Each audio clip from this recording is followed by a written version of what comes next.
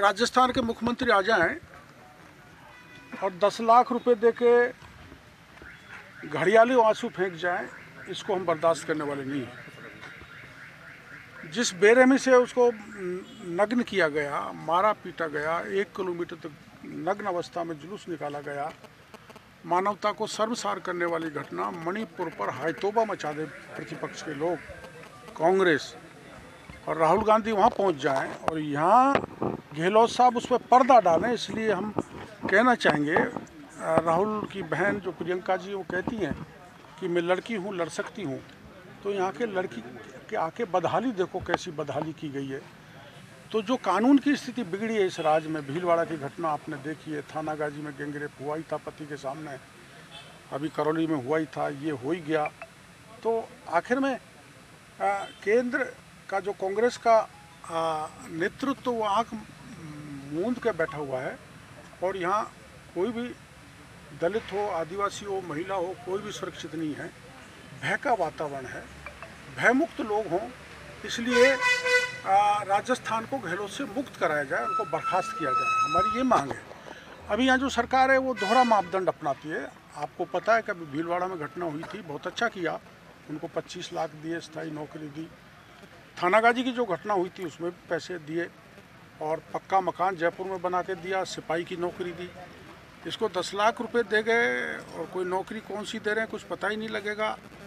तो हम चाहते हैं कि समान रूप से जो थाना गाजी और भीलवाड़ा में दिया है, वो इनको पैकेज मिले। चूँकि ये यहाँ अपने आप को अब सुरक्षित नहीं समझेगी तो राजस्थान में जहाँ कहे वहाँ उसको वैसे ही मकान के बना के दें, जैसे थाना गाजी के गैंग रेप में दिया था। तो डिस्क्रिमिनेशन और भेदभाव नहीं होना चाहिए पैकेज में एक। और आखिर में पुलिस को लेट पता क्यों लगा? दूसरा, आखिर में चौबीस घंटे या छत्तीस घंटे बाद एफआईआर दर्ज क्यों क्यों हुई? तो इसके लिए पुलिस दोषी है। और किसका दबाव था? तो पुलिस के दोषी लोगों के खिलाफ भी कार्रवाई हो। पर मुख्यतया मुख्यमंत्री को अब रहने का अधिकार नहीं है। उसे बर्खास्त किया जाए मुख्यमंत्री को और परिवार को मुक्त किया जाए। वो आदिवासी परिवार है। आदिवासी समाज यहाँ है। वो उनसे पूछेगा, जानकारी सामाजिक परंपरा आखिर में क्या हुआ, कैसे हुआ। सामाजिक स्तर पर हम दंडित करने का प्रावधान भी इस इलाके में है।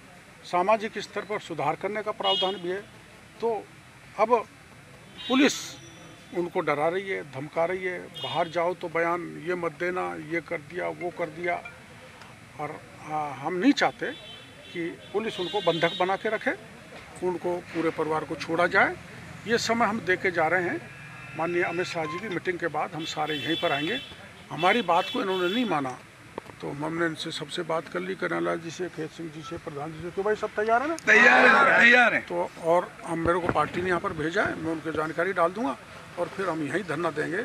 मुख्यमंत्री बर्खास्त हो, आदिवासी परिवार को मुक्त करो और कम से कम 25 लाख रुपए और सरकारी नौकरी, चाहे सिपाही की हो, चाहे फॉरेस्ट कैटल गार्ड की हो, चाहे एलडीसी की हो, उसके क्वालिफिकेशन के हिसाब से स्थायी नौकरी दी जाए। इन मांगों को लेके हम अगर इन्होंने पूरी नहीं की तो यहाँ पर बैठेंगे। ये चाहे लाठी मारें, चाहे गोली मारें, चाहे जेल में डालें हम हमारी बहन बेटी का चीर हरण जो ऐसे हुआ है, ऐसा हम देख नहीं सकते, ऐसा तो द्रौपदी का भी नहीं